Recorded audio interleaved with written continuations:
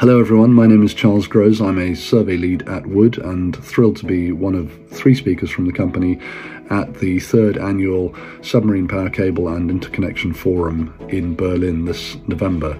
Our topic of discussion is lessons from recent offshore wind cable surveys, how to get maximum value out of your survey budget.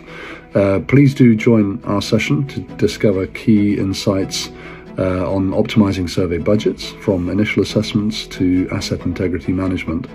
You'll uh, hopefully learn a little bit about saving costs, reducing risks, and enhancing the efficiency of your offshore survey projects. So, look forward to seeing you there. Thank you. Bye bye.